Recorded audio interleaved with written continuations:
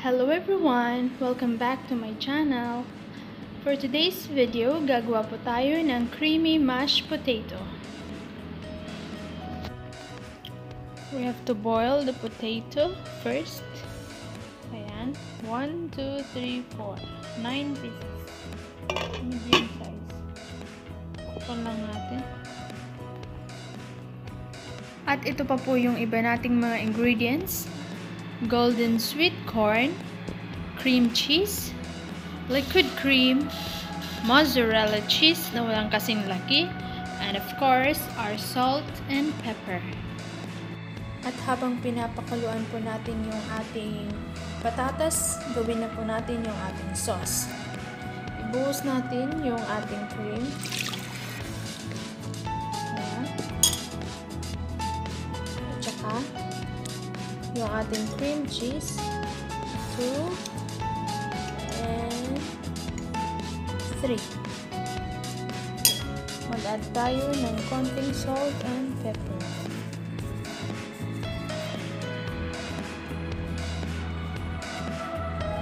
Sabi ko konti, but madami. I-whisk natin.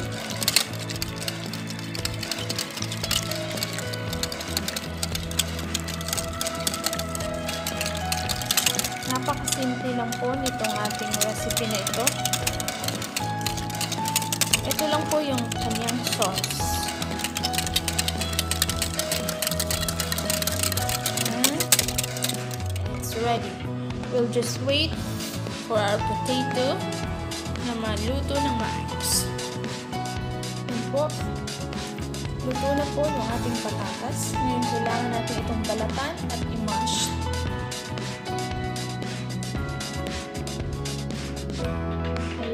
Ayan, balat na yung ating patatas. Now, we need to mash it using spoon. I-press natin hanggang mamash siya ng tuloy. Grabe yung struggle dito.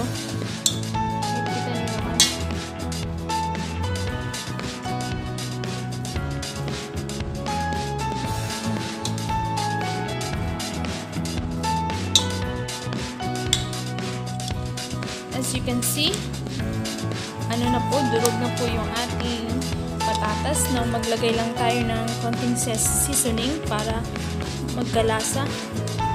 Salt and pepper. Tapos,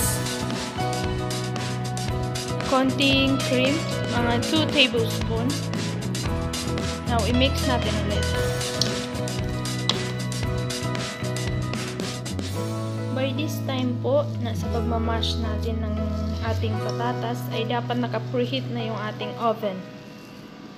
Sa taas at baba. Kasi, i-bake natin to siya for 15 to 20 minutes.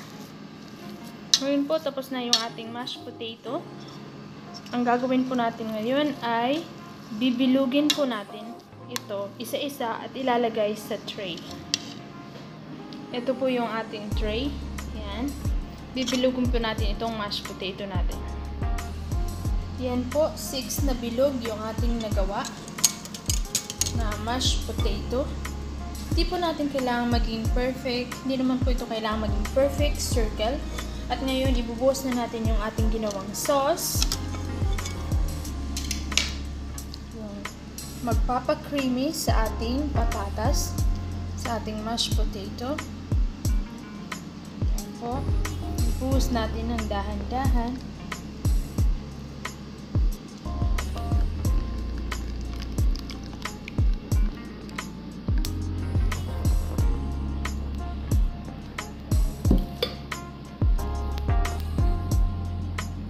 maglagay tayo ng ito na yung mais ito na yung ganap ng ating mais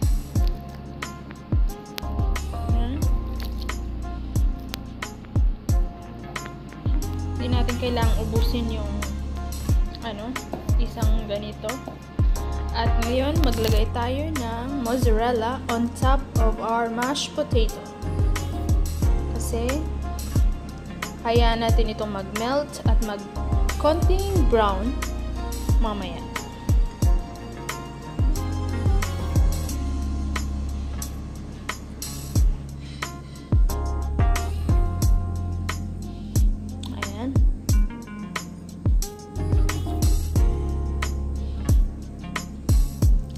Ilalagay natin sa ating oven na na-preheat na kanina pa. Yan. Doon tayo maglagay ng konting cheese dito. Para maging creamy talaga siya. Doesn't need to be. Yan. Pwede natin ilagay ngayon sa ating oven.